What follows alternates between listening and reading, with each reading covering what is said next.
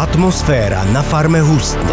Dávajte si pozor, Petky, čo hovoríte, už sa tu začína proste intrigovať. Pretože Michala čaká ťažká voľba. Je to hra a niekto do toho súboja ísť musí. Všetci sú v napätí. To sa tu prežíva práve tá staršia generácia. Ja už môžem ísť aj bojovať. Zapýtala, či ide byť chlap alebo baba.